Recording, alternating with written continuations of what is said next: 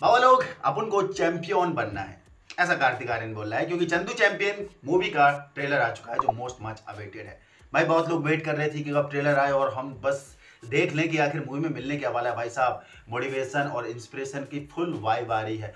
Full भर भर के बू आ रही है। वो मंजर, वो दोबारा से मंजर रिकॉल होने वाला है, जो आपने सुल्तान में फील करा होगा, जो आपने मैरीकॉम में फील किया होगा, वो ढेर सारा गूस बम्स एंड वो स्ट्रगल एंड वो मोटिवेशन एंड इंस्पिरेशन हर एक वो चीज़ टिप टू टॉप जो आपकी लाइफ को भी बहुत ज़्यादा टच करके जाएगी, क्योंकि स्ट्रगलर्स को ये बहुत ज़्यादा इम्पैक्ट करने वाली है। भाई मूवी की कहानी थोड़ी अतरंगी देखने को मिल रही है, लेकिन एक बात पहले ही बता दूँ मूवी में बहुत कुछ क्या होने वाला है ट्रेलर ने पहले ही बग दिया है, उगल दिया है कि कहानी शुरू से लेके लास्ट तक आखिर होने क्या वाली है। मतलब जर्नी होने वाली है एक ऐसे बंदे की जो अपनी विल पावर पर भरोसा करता है कि भाई, जब मैं अगर चाहूँगा ना तो मैं ये करके रहूँगा, और मुझे इसके लिए किसी से भी लड़ना, झगड़ना क्यों ना पड़े? लाइक वो बहुत से डायलॉग सुनने मिले कि, ए, हंसता का को है? अपन जो करेगा ना तो वो सारा चीज़ दमदार लगा भाई।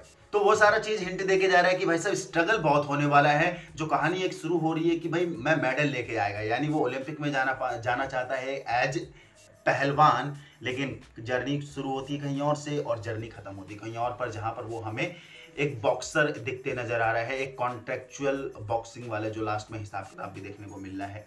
वैसे बात अगर ट्रेलर की करें तो यस ट्रेलर बहुत प्रॉमिसिंग है, क्या होने वाला क्या नहीं, बहुत कुछ बता के भी जा रहा है। किसी एक ऐसे गाँव से एक अंडरडॉग बच्चा उठ के आएगा, जो आगे चलते जाएगा, उसे उसे पहलवान बनना है, लेकिन बाद में उसे कोई सजेशन देगा कि भाई साहब आप आर्मी ज्वाइन कर लो तेने आर्मी में ज्वाइन करने के बाद उसे पता चलेगा कि भाई साहब यहाँ से भी हम मेडल ला सकते हैं, यानी ओलंपिक के लिए लड़ाई कर सकते हैं। और वो वहाँ पर एज बॉक्सर का ट्रायल देगा एंड देन वो सेलेक्ट हो जाएगा, और वो सारी चीज़ें भाई ट्रेलर में भी देखने को मिल रही है। लेकिन उसके बाद भी वो बंदा सेटिस्फाई नहीं होगा, क्योंकि वो किक नहीं मिलेगी, वो फेम नहीं मिलेगा जो उसे वाकई में चाहिए था। तो सिंपल सा भाई, मुझे जो मोटा मोटा समझ में आया ट्रेलर से एक ऐसा टिपिकल करेक्टर जो बहुत दबाया गया है हर एक कंडीशन पर, हर एक ऐसे अपने फेस पर, जो हर टाइम लड़ना चाहता है, उभरना चाहता है।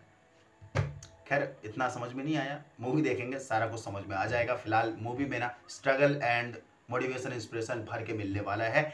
वो सारी चीज़ें जो सुल्तान मैरी कॉम में हमने फील करी थी, वो सारी चीज़ें इसमें भी रिकॉल रिकॉल होने वाली हैं रिवाइव होने वाली हैं। तो भाई कौन कौन वेट कर रहा है इस मूवी के लिए? भाई मैं तो बहुत वेट कर रहा हूँ। दूसरा कार्तिक आर्यन की परफॉर्मेंस बिल्कुल भी डिसअपॉइंट नहीं करेगी और body transformation and acting transformation जिस हिसाब से इस बंदे ने किया है, भाई इससे बेटर कोई कर भी नहीं सकता। कहाँ भी हम भूलभुलिया में notorious and chunky cutie boy देख कर आ रहे थे और अभी यहाँ पर full stud and crunchy boy हार देखते हैं क्या बनता है। बाकी यहाँ तक पहुँच गए तो इसका वीडियो पसंद आई पसंद आए तो लाइक कर दीजिए। नया हो तो चैनल को सब्सक्राइब कर दीजिए। बाकी मिलते हैं वीडियो में। जय